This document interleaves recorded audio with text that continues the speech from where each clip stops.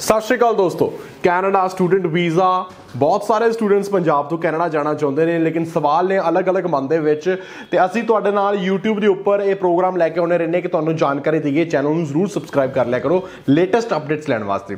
ਅੱਜ ਦੀ ਵੀਡੀਓ ਵਿੱਚ ਗੱਲ ਕਰਨ ਜਾ ਰਹੇ ਹਾਂ 5.5 ਬੈਂਡ ਵਾਲੇ ਬੱਚਿਆਂ ਵਾਸਤੇ, ਕਿਉਂਕਿ ਲੇਟੈਸਟ ਅਪਡੇਟ ਜੋ ਮੈਂ Instagram ਦੇ ਉੱਪਰ ਤਾਂ ਆਲਰੇਡੀ ਪੋਸਟ ਕਰ ਦਿੱਤੀ ਸੀ, ਪਰ ਬੱਚੇ ਫਿਰ ਵੀ ਕੁਐਸਚਨ ਸੀਗੇ ਜੀ ਗ੍ਰੈਜੂਏਸ਼ਨ ਤੋਂ ਬਾਅਦ ਹੋਊਗਾ ਐਦਾਂ ਹੋਊਗਾ, ਇੱਕ ਮੋਡਿਊਲ ਦੋ ਮੋਡਿਊਲ ਓਵਰਆਲ 5.5 ਓਵਰਆਲ 6 ਕੀ ਹੈ?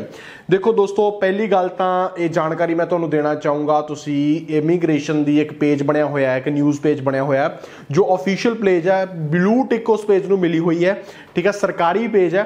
ਉਹਨੇ ਇਹ ਅਪਡੇਟ ਦਿੱਤੀ ਸੀ, ਜਿਹਦੇ ਵਿੱਚ ਉਹਨਾਂ ਨੇ ਮੈਂਸ਼ਨ ਕੀਤਾ ਸੀ, ਜਿਹਦਾ ਸਕਰੀਨਸ਼ਾਟ ਵੀ ਮੈਂ ਇੰਸਟਾਗ੍ਰam ਤੇ ਪਾਇਆ ਸੀ, ਕਿ ਜਿਹੜੀ ਓਵਰਆਲ 6 ਬੈਂਡ ਹੈ ਆਇਲਸ ਦੇ ਵਿੱਚੋਂ ਅਕੈਡਮਿਕ ਦੇ ਵਿੱਚੋਂ ਤੇ ਕੈਨੇਡਾ ਸਟੱਡੀ ਵੀਜ਼ਾ ਦੇ ਵਿੱਚ ਹੁਣ ਉਹ ਅਸੈਪਟੇਬਲ ਹੋਊਗਾ। ਈਚ 6 ਬੈਂਡ ਦੀ ਰਿਕੁਆਇਰਮੈਂਟ ਨਹੀਂ। ਇਹ ਵੀ ਉਹਨਾਂ ਨੇ ਡਿਟੇਲ ਦੇ ਵਿੱਚ ਮੈਂਸ਼ਨ ਕੀਤਾ ਸੀ ਕਿ ਈਚ 6 ਬੈਂਡ ਦੀ ਰਿਕੁਆਇਰਮੈਂਟ ਹੁਣ ਨਹੀਂ ਹੈਗੀ। ਠੀਕ ਹੈ? ਤਾਂ 6 ਓਵਰਆਲ ਦੀ ਰਿਕੁਆਇਰਮੈਂਟ ਹੈਗੀ ਹੈ ਕਨਫਰਮ ਹੈ, ਪਰ 10th ਆਫ ਅਗਸਤ ਤੋਂ ਬਾਅਦ। 10th ਆਫ ਅਗਸਤ ਤੋਂ ਬਾਅਦ ਹੀ 6 ਓਵਰਆਲ ਦੀ ਉਦੋਂ ਪਹਿਲਾਂ ਜਿਹੜਾ ਵੀ ਬੱਚਾ ਫਾਈਲ ਐਮਬੈਸੀ ਚ ਲੌਂਚ ਕਰ ਰਿਹਾ, ਪੁਰਾਣੇ ਰੂਲਸ ਦੇ ਹਿਸਾਬ ਨਾਲ PT non SDS IELTS SDS 6 ਸੀਚ ਐਸਡੀਐਸ ਉਸੇ ਤਰੀਕੇ ਨਾਲ ਫਾਈਲ ਲੱਗੂਗੀ। ਪਹਿਲੀ ਗੱਲ ਤਾਂ ਇਹ। 10 ਅਗਸਤ ਤੋਂ ਬਾਅਦ ਉਹਨਾਂ ਟਾਈਮ ਤੱਕ ਤੁਸੀਂ ਆਪਣੀ ਆਫਰ ਲੈਟਰ ਉਹਨਾਂ ਟਾਈਮ ਤੱਕ ਤੁਸੀਂ ਆਪਣੀ ਫੀਸ ਜੀਆਈਸੀ ਇਹ ਸਾਰੀਆਂ ਚੀਜ਼ਾਂ ਕਰਕੇ ਰੱਖ ਸਕਦੇ ਹੋ। ਦੂਸਰੀ ਗੱਲ ਆ ਗਈ ਕਿਹੜੇ ਕਿਹੜੇ ਬੱਚਿਆਂ ਵਾਸਤੇ ਐਲੀਜੀਬਲ ਆ? ਐਸਡੀਐਸ ਕੈਟਾਗਰੀ ਹੈ, ਇਹ ਗੱਲ ਬਿਲਕੁਲ ਸ਼ੋਰ ਹੈ। ਉਸ ਤੋਂ ਬਾਅਦ ਐਸਡੀਐਸ ਤੋਂ ਬਾਅਦ ਜੇ ਤੁਸੀਂ ਪਲੱਸ 2 ਕੀਤੀ ਹੈ, ਇੱਕ ਮੋਡਿਊਲ ਚ 5.5 ਬੈਂਡ ਸਕੋਰ ਨੇ। ਗੈਪ ਚਾਹੇ ਤੁਹਾਡਾ 10 ਸਾਲ ਦਾ ਹੋਵੇ 5 ਸਾਲ ਦਾ ਹੋਵੇ 7 ਸਾਲ ਦਾ ਹੋਵੇ, ਕੋਈ ਦਿੱਕਤ ਨਹੀਂ ਹੈਗੀ। ਜੇ ਤੁਸੀਂ ਗ੍ਰੈਜੂਏਸ਼ਨ ਕੀਤੀ ਹੈ, ਫਿਰ ਵੀ ਇੱਕ ਮੋਡਿਊਲ ਚੋਂ 5.5 ਹੀ ਹੋਣੇ ਚਾਹੀਦੇ ਆ। ਦੋ ਮੋਡਿਊਲ ਚੋਂ 5.5 ਕਿਤੇ ਨਾ ਕਿਤੇ ਕੋਸ਼ਿਸ਼ ਕਰ ਸਕਦੇ ਆ ਬਟ ਮੈਨੂੰ ਲੱਗਦਾ ਨਹੀਂ ਕਿ ਸਾਰੇ ਕਾਲਜਿਸ ਆ ਜਿਹੜੇ ਉਹ ਅਸੈਪਟ ਕਰਨਗੇ ਦੋ ਮੋਡਿਊਲ ਚੋਂ 5.5 ਇੱਕ ਅੱਧੇ ਮੋਡਿਊਲ ਚੋਂ 5.5 ਆ, ਤਾਂ ਕਾਲਜਿਸ ਨੇ ਉਹਨੂੰ ਅਸੈਪਟ ਕਰਨਾ ਸਟਾਰਟ ਕਰ ਦਿੱਤਾ।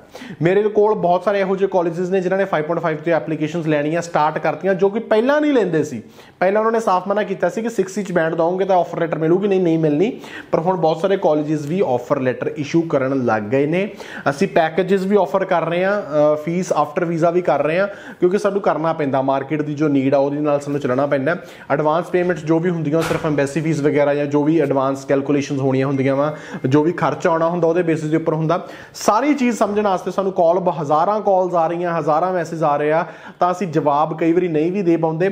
ਸਾਡਾ ਆਫਿਸ ਮੋਗਾ ਹੈਗਾ ਜੀ, ਧਰਮਕੋਟ ਹੈਗਾ, ਜ਼ੀਰਾ ਹੈਗਾ। ਕਿਸੇ ਆਫਿਸ ਡਾਇਰੈਕਟਲੀ ਜਾ ਕੇ ਵਿਜ਼ਿਟ ਕਰ ਲਓ, ਕਿਸੇ ਵੀ ਕਾਉਂਸਲਰ ਨੂੰ ਮਿਲ ਲਓ, ਤੁਹਾਨੂੰ ਸਾਰੀ ਜਾਣਕਾਰੀ ਉਹ ਦੇ ਦੇਣਗੇ। ਐਪਲੀਕੇਸ਼ਨ ਸਟਾਰਟ ਕਰ ਲਓ ਫੀਸ ਭਰ ਦਿਓ ਜੀਆਈਸੀ ਭਰ ਦਿਓ ਐਸਓਪੀ ਪ੍ਰੋਫੈਸ਼ਨਲ ਜਿਹੜੀ ਮੈਂ ਖੁਦ ਬਣਾ ਕੇ ਦੇਣੀ ਹੈ, ਇਹ ਵੀ ਵਾਅਦਾ ਹੈ ਕਿ ਜਿਹੜੀ ਫਾਈਲ ਆ, ਉਹ ਤੁਹਾਡੇ ਸਾਹਮਣੇ ਬਹਿ ਕੇ ਲੱਗਣੀ ਆ, ਤਾਂ ਕਿ ਕੋਈ ਵੀ ਸ਼ੱਕ ਨਾ ਰਵੇ, ਚਾਹੇ ਤੁਸੀਂ ਪੈਕੇਜ ਲੈ ਰਹੇ ਹੋ ਫੀ ਆਫਟਰ ਵੀਜ਼ਾ ਲੈ ਰਹੇ ਹੋ, ਚਾਹੇ ਤੁਸੀਂ ਆਪਦਾ ਖਰਚਾ ਆਪ ਕਰ ਰਹੇ ਹੋ।